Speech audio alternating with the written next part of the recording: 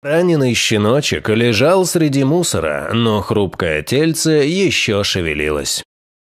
Когда мы выбрасываем что-то в уличную мусорку, чаще всего делаем это машинально, не замечая, что лежит внутри. Один прохожий в американском штате Канзас оказался внимательным, и не зря. В мусорке он заметил крошечное израненное тельце, которое очень нуждалось в помощи. Кто-то, кого сложно назвать человеком, решил избавиться от ненужного слабого щенка и выкинул малыша в мусор. Кроха свернулся в клубочек среди мусора и уже не надеялся, что кто-то придет на помощь. К счастью, один внимательный мужчина заметил в мусорке крохотное тельце. Прохожий, не раздумывая, достал малыша и повез в ближайший центр спасения Unleashed Pet Rescue and Adoption. Сотрудники пришли в ужас, узнав, где мужчина обнаружил собачку. Несчастный малыш был очень слаб, а его тельце сплошь покрыто ранами. Сотрудники определили, что ему около двух месяцев, и назвали «Минимус». Щенок в стабильном состоянии, но покрыт открытыми, похожими на проколы, сочащимися ранами по всему крошечному телу. Мы не совсем уверены, от чего они появились, написали спасатели центра. Ему необходимо лечение, и мы дадим этому маленькому парню шанс, которого он заслуживает. Несмотря на все, через что пришлось пройти этому храброму мальчику, Минимус очень благодарен своим спасателям. Он ведет себя спокойно и доверяет сотрудникам центра. Сейчас малыш идет на поправку, но не скоро полностью отправится от ран на теле и в душе, которые причинили ему жестокие люди. Мы очень надеемся, что после восстановления он обязательно обретет заботливую семью, которая покажет ему, что такое настоящая любовь человека.